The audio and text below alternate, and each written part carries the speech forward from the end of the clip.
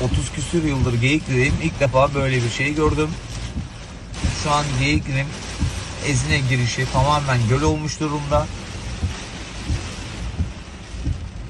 Zeytin ağaçlarının neredeyse boyuna kadar su toplanmış. Kemallı girişi yok. Aktepe girişi yok ve şöyle göstereyim.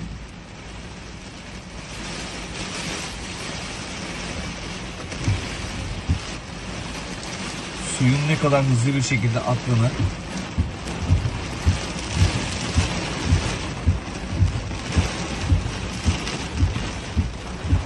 Arabalar şu anda bekliyor.